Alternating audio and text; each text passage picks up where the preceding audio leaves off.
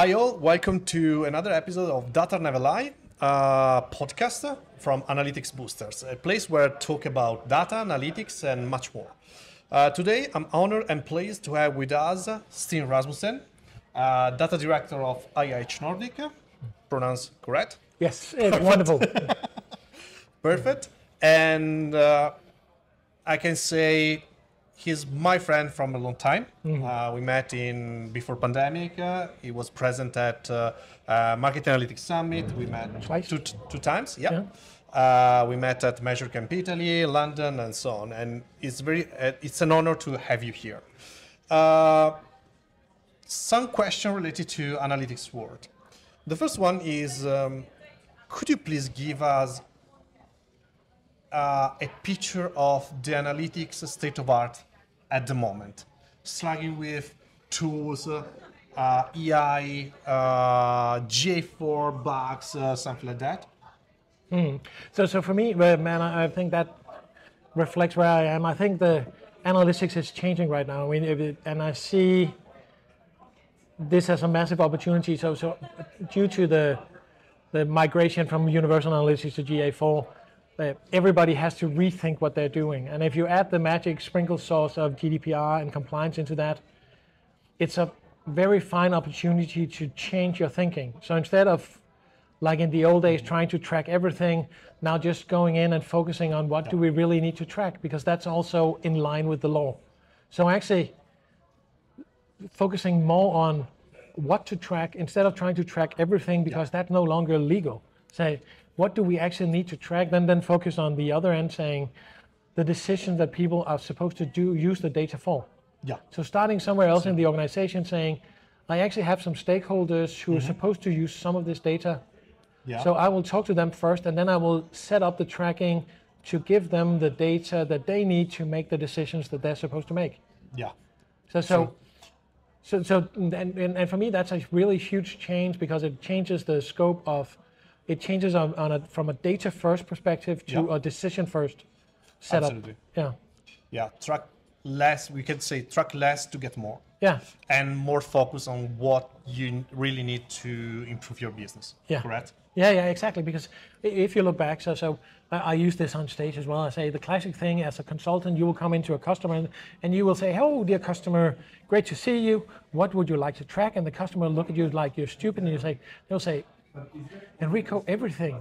Yeah. We want to track everything, but the when I look back, I can see the curse of tracking everything is that you have to maintain everything, Absolutely. and, and suddenly correct. analytics becomes a maintenance job and not an action job. So you have way too much maintenance and too little action. Sure. Uh, I'm with you with, with this. Uh, I feel you, and it is the same for, for us and for the, I think, the, the if you want to have a, a new step forward to do analytics or do marketing Yeah. in the, in the digital world. So another question is related to the first one, but only for the um, EI. Today, everything is AI, artificial intelligence everywhere, ChatGPT, Copilot, something like that. How do you think uh, uh, artificial intelligence could help uh, analytics people, agencies, and customers? So I think it could hopefully, and they did. I think the challenge is that uh, we need narrower and more dedicated models in relations to to to actually really use analy- analytics. I see the challenge with the op- very open models is that you put your data into them, they will come up with with very kind of like so if you put data into uh, ChatGTP, right? You you will get the most uh, the most likely answer, not ne- not necessarily an, an analysis because it doesn't understand numbers, uh, so it will not do the analysis. It will come up with a good a good recommendation, but it won't ne- no, won't necessarily be the, the the right one Yeah. right? So I uh, I saw uh, uh, a post on LinkedIn where a guy had made ChatGTP play chess against um, a Llama, Yeah. and it's probably one of the worst chess games I've ever seen. They, they played so badly, both of them, because they were only looking at the next move. There was no strategy in it. Yeah. So they were just, what is what what is the best move with the pieces like this? So they were just thinking one move ahead. They Yeah. were, so so, and that's why so so that Uh, I see. But if and if you get these models to play against a dedicated chess uh, AI, they can never win Yeah. because they're specialized in doing that, and that's kind of the models that we need for analytics, the specialized models. So I see there's a future for analytics in this, and we can use the current models to learn what where they can tie in. But I feel I don't trust the models enough right now to be able to to just let them take over the decision process. Yeah. Uh, we we cannot have the uh, punch response to uh, machine learning or something like that. We need to learn more Yeah. at the moment. Yeah, yeah. Okay. And, and and and the second thing I see, and this is kind of a, on on the on the further down the line, I see that what I see right now, I see a lot of people optimizing their uh, their work processes with AI. So you do more generative content, you pull AI into do things faster, smarter in relation to how you normally work. But my the challenge that I see is, is actually that at the end of this, we work under we're optimizing under the assumption that that the customers will not change their purchase process right? So so because so you will go in and you say hey cool let's do more uh, more content. We will produce more content. We will have an ai doing generative content so we can do a blog post every day. Under the assumption that sure, then you'll get more content and more when you search you'll be more dominant and more people Yeah. will come to your website and everybody else will be doing the same and there will be too much content and at the same time on the other end the, the, the clients will sit there and say i cannot digest all this content so i will get my va Yeah. come up with a recommendation book, book the best a meeting with the best agency for me and they will their va will not look at all your generative content they will go out and decide on something else so the purchase processes are changing but we're optimizing like that it will never change and it's Yeah. like going back to the uh, the, the the old saying about Ford. Uh, he said if you ask the people, they wanted faster horses, and I think that's what we're doing right now. We're using AI to make faster horses in marketing. Yeah. We're not really innovating. We're just doing more of what we're doing already Yeah. faster. Yeah, uh, I'm with you with, with everything. And another quick question uh, related to which suggestion would you give to a new guy that want to approach to analytics uh, and data?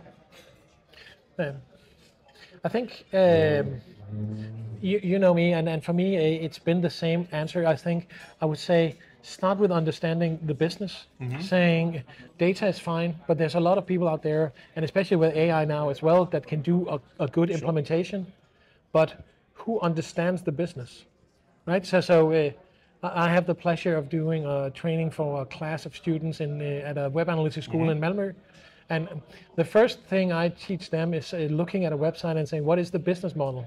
Yeah, uh, because otherwise we, we kind of drown in the data. There's so much data, and we if we don't understand the business that we're trying to support.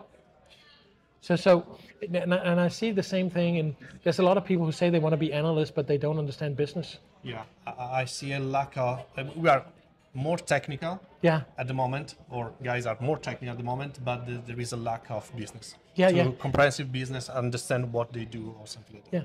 yeah so you you need the commercial acumen Yeah. kind of the understanding that what is the business in this, what is, why are we doing this, what is the business case.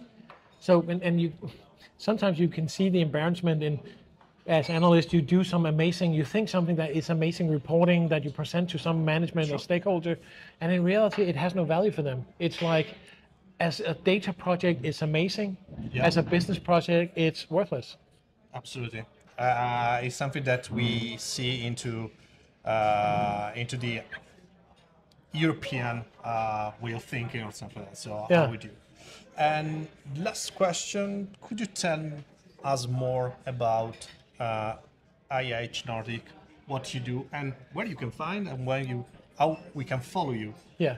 So for me, I'm a sucker for LinkedIn. So that's kind of my, my my my main channel, right? So so Okay. so so LinkedIn is the place to follow me. If you do a search for Steen, I I H, then I think I'm the only one. Uh, so so that's kind of the easy part. IIH Nordic is, I would call us a boutique agency specialized in in in analytics, but we're specialized in analytics in the sense that we're Uh, we're an old Google agency, so we believe in that Google Analytics 4 and uh, the Google Stack is the solution to all your problems. So that's kind of where we specialize. So it's about data, data activation, but really on the on the next frontier. We like to say that we work with ambitious customers. Yeah. So if you just want a, a setup, it's not necessarily us. It's uh, we will be the company to go to if you want to make a setup and then take that data and turn it into something else. And for us, I think the best anecdote for, about IIH is saying that we did it for ourselves. So we started with the first the first larger company in the world, as far as I know, that went to a four-day work week, 30 hours with full pay Yeah. by looking at our own use of data and how data could enhance our processes and using that to, to leverage things. Yeah. Great thing. Yeah. Great thing. Yeah. Absolutely. So thank you so much for your time, Steen, and thanks to uh, be part of Data Never Lies. And for you guys, uh, stay tuned for another episode of Data Never Lies. Thank you again, Steen. Absolutely, thanks. Thanks.